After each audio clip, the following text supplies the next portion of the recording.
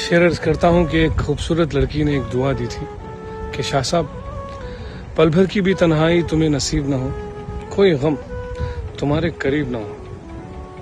खुदा करे कि ज़िंदगी में तुम इतनी खुशियाँ हासिल करो कि तुम सा खुश नसीब सारी दुनिया में कोई ना हो। ज़िंदगी उन्हें मुबारक जिनके पास तुम हो। हम इस तन्हाई से खुश हैं। अस्सलाम